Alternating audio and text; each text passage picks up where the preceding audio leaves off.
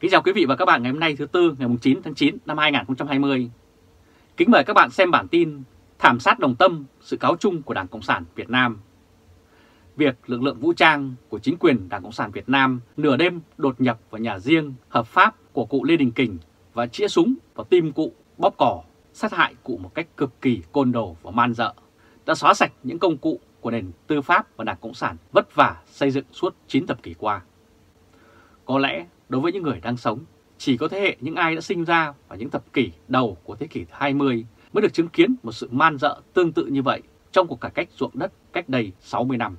Cũng do chính Đảng Cộng sản Việt Nam lúc đó tiến hành nhằm đuổi cùng giết tận tầng lớp tinh hoa ở nông thôn.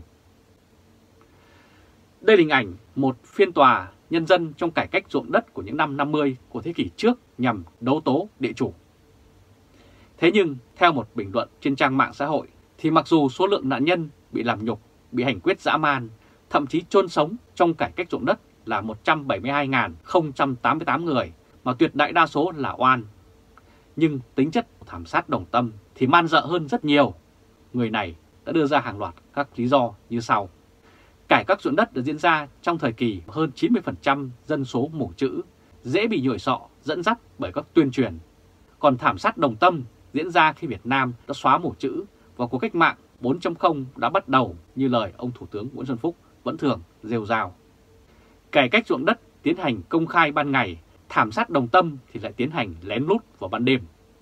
Cải cách ruộng đất dùng nông dân mù chữ để xử lý các địa chủ bằng bạo lực tự phát. Thảm sát đồng tâm thì dùng lực lượng vũ trang chính quy để đàn áp, giết chết người dân. Cải cách ruộng đất có mở phiên tòa luận tội rồi mới giết thảm sát đồng tâm, bắn giết, tra tấn, không cần bất kỳ tòa nào. Cải cách ruộng đất dùng nông dân để kể tội làm nhục địa chủ trước khi hành quyết.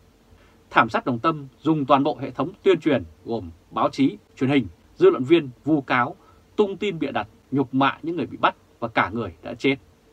Cải cách ruộng đất không bẫy nạn nhân, không đẩy nạn nhân vào thế phản kháng tự vệ mà luận tội dựa trên tài sản đất đai đã có. Thảm sát đồng tâm được thiết kế tinh vi để đẩy các nạn nhân vào thế phải tự vệ, lấy cớ đó giết và bắt họ.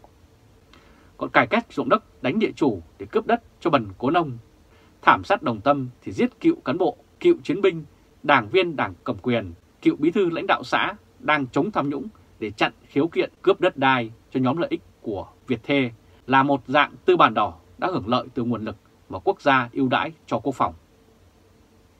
Trả lời đài BBC từ London, ông Hoàng Hưng, nhà thơ, dịch giả và là đồng thời chủ biên tạp chí văn nghệ Mạng Văn Việt thuộc Ban vận động thành lập Văn đoàn Độc lập Việt Nam đã nhận định ở nước Việt Nam thời Cộng sản chưa từng có vụ việc về nhân quyền, dân quyền nào có sự lên tiếng mạnh mẽ, thẳng thắn, kiên trì và đông đảo, bao gồm nhiều thành phần xã hội như vụ cảnh sát cơ động đột kích làng Hoành, xã Đồng Tâm vào sáng sớm ngày 9 tháng 1 năm 2020.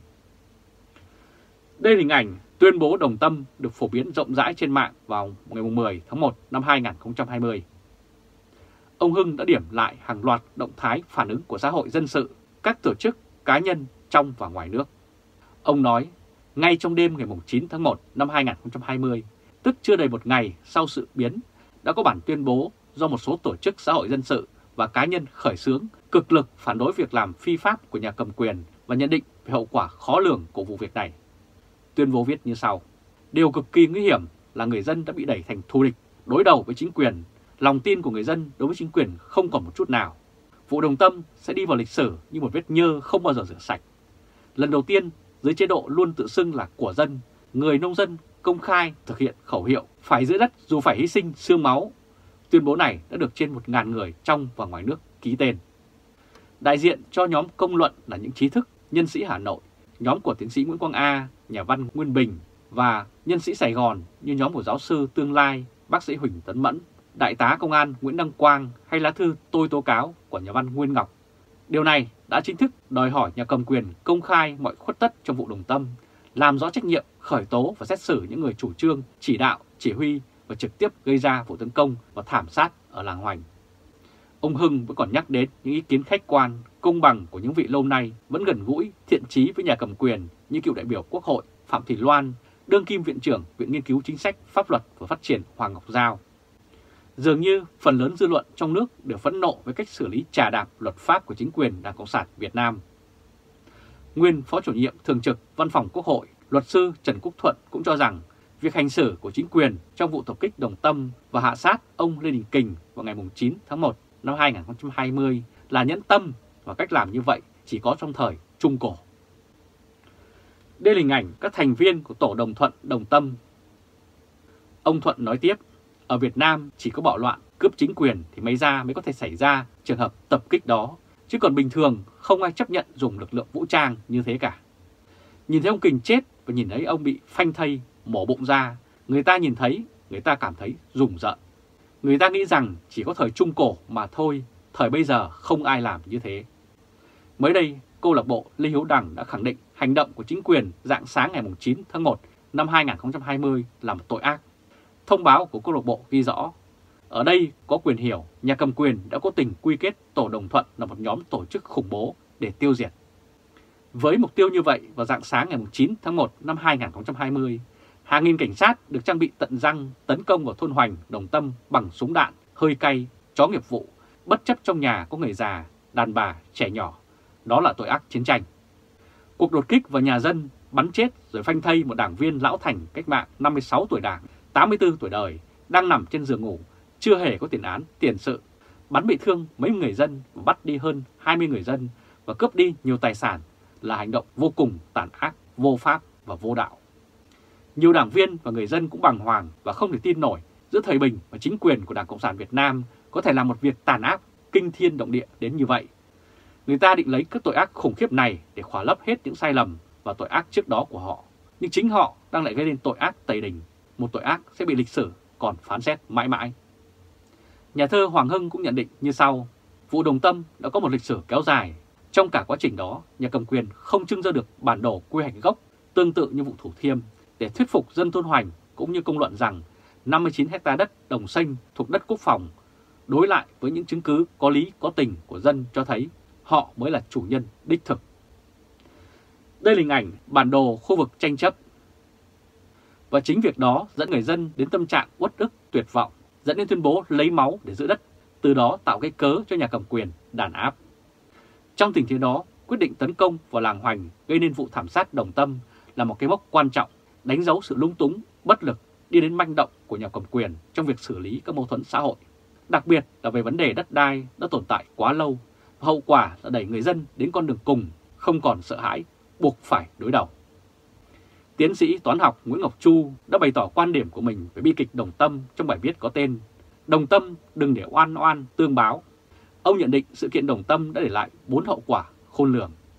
Thứ nhất, nó làm chia rẽ sự đoàn kết và giảm sức mạnh của dân tộc. Đó là sự chia rẽ giữa nhân dân với chính quyền, đó là sự chia rẽ giữa nhân dân với nhân dân, và đó còn là sự chia rẽ trong nội bộ của chính quyền. Sự chia rẽ này còn kéo dài lâu nữa, dẫu trên bề mặt sắp tới đây sẽ lắng xuống. Hơn nữa, sự chia rẽ sẽ còn tiếp tục lan rộng, chừng nào không giải quyết được gốc rễ vấn đề, những phát đạn không phải là kết thúc. Thứ hai, đó là vết thương lương tâm. Bi kịch đồng tâm là vết thương lòng của nhiều người, đã có nhiều người khóc khi biết những mất mát ở thôn Hoành vào đêm ngày 9 tháng 1 năm 2020. Họ không trúng đạn nhưng cũng bị trúng đạn. Họ khóc vì thương xót, họ khóc vì dây dứt. Ở bình diện nào đó, trong cái chết của đồng bào thôn Hoành vào đêm ngày 9 tháng 1 năm 2020, có lỗi của họ. Những người đã khóc đều cố gắng tìm hiểu lỗi của mình ở đâu. Thứ ba, đó là sự mất mát niềm tin và sợ bạo lực. Ông phân tích tiếp, thanh tra không phải là tòa án, thanh tra là của chính quyền, khi chính quyền tranh chấp với chính quyền thì có thể dùng thanh tra, nhưng khi chính quyền tranh chấp với người dân thì phải dùng tòa án. Trong vụ đồng tâm không có tòa án. Trong vụ đồng tâm, thanh tra của chính quyền giải quyết tranh chấp của chính quyền với người dân. Đó là nguyên nhân dẫn đến sự mất niềm tin vào chính quyền vì sự không công bằng. Rồi chính quyền lại dựa vào thanh tra của chính quyền để sử dụng vũ lực. Sau bi kịch tại Đồng Tâm vào đêm ngày 9 tháng 1 năm 2020, một nỗi sợ hãi, nguy cơ bạo lực đang làng vàng. Khi người dân mất niềm tin vào chính quyền Sợ bạo lực từ chính quyền thì đó là nỗi lo của chính quyền. Và hậu quả thứ tư đó là những hệ lụy quốc tế. Tiến sĩ Chu khẳng định cuộc hành quân và Đồng Tâm đêm ngày 9 tháng 1 năm 2020 là một trời một vực với những bức thành ngăn cách về pháp lý giữa Việt Nam và chuẩn mực quốc tế. Với thước đo của châu Âu, sự việc Đồng Tâm vào đêm ngày 9 tháng 1 sẽ lọt vào phạm trù khác chứ không phải là chính quyền Cộng sản tuyên truyền là vì bảo vệ xây tường rào ở cánh đồng xanh. Còn học giả Nguyễn Quang Di cũng khẳng định sự kiện đồng tâm vào hôm 9 tháng 1 năm 2020 là thảm họa về đối nội, đối ngoại và truyền thông. Đây là hình ảnh quyết định trao huân chương cho ba công an chết khi tấn công đồng tâm được ông Tổng Bí thư Nguyễn Phú Trọng cấp tốc ký vào ngày 10 tháng 1 năm 2020. Ông phân tích tiếp như sau, bằng cách tập kích vào đồng tâm vào lúc dạng sáng như tấn công đồn địch, giết chết cụ kình như kẻ thù không đợi trẻ chung. Chính quyền đang đánh mất lòng tin của người dân và chứng minh cách mạng đang ăn thịt những đứa con của mình. Chính quyền không chỉ dùng bạo lực quá mức cần thiết và quá tàn bạo đối với những người già, phụ nữ và trẻ em, mà sau đó còn ép Vietcombank phong tỏa tài khoản tiền phúng điếu của nhiều người gửi cho gia đình cụ Lê Đình Kình với lý do đó là tổ chức khủng bố, họ nói vậy. Trong chiến tranh, người ta phải đối xử với nhân đạo với tù binh, nhưng trong hòa bình, người Việt lại đối xử tàn bạo với đồng bào của mình như kẻ thù. Sau cụ Lê Đình Kình, liệu còn ai dám tin vào đảng nữa? Đây là cách hành xử thiếu khôn ngoan, phá hoại khối đoàn kết dân tộc và an ninh quốc gia. Trong khi đất nước đang cần đồng thuận quốc gia để tìm cách thoát hiểm bằng đổi mới thể chế và thoát chung, thì người ta lại hành động như tự bắn vào chân của mình. Quyết định đàn áp đồng tâm vào ngày 9 tháng 1 năm 2020, bất chấp Việt Nam là chủ tịch của ASEAN và thành viên không thường trực của Hội đồng Bảo an Liên Hợp Quốc vào năm 2020, và bất chấp Nghị viện châu Âu sẽ bỏ phiếu quyết định số phận của Hiệp định Thương mại Tự do Việt Nam và châu Âu. Theo ông Lưu Trọng Văn, chính quyền dùng bạo lực đàn áp dân đồng tâm đã gây ra bất ổn vào lúc này có thể là một phần trong âm mưu của nhóm lợi ích kết cấu bị lôi kéo bởi Trung Quốc hòng làm mất uy tín Việt Nam trước khi châu Âu thông qua Hiệp định Thương mại Tự do. Và mặc dù hiệp định này có được thông qua nhưng nó luôn có thể được xem xét lại. Và Việt Nam có nguy cơ lâm vào thế mắc kẹt như một kịch lý với hệ quả kép, đối nội và đối ngoại còn nặng nề hơn cả vụ Trịnh Xuân Thành. Dư luận cho rằng nhiệm kỳ Tổng Bí thư của ông Nguyễn Phú Trọng sẽ đi vào lịch sử với ba sự kiện bất thường. Một là thảm họa môi trường Formosa, hai là vụ bắt cóc Trịnh Xuân Thành, ba là vụ đàn áp Đồng Tâm. Nếu vụ Đồng Tâm không phải do ông Trọng mà là một nhân vật khác muốn gảy bẫy ông như theo thuyết âm mưu thì đó là một dấu hiệu bất ổn về trên bảo dưới không nghe. Báo hiệu năm 2020 còn nhiều ẩn số và biến số khó lường. Ông kết luận Việt Nam tiếp tục bị cô lập và tụt hậu trong một thế giới biến động khôn lường.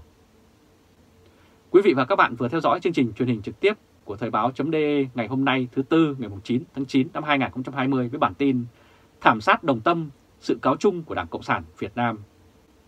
Quý vị và các bạn hãy chia sẻ video này cho nhiều người biết và bấm nút theo dõi YouTube và Facebook của Thời báo.de để luôn nhận được những bản tin mới nhất, nhanh nhất và trung thực nhất.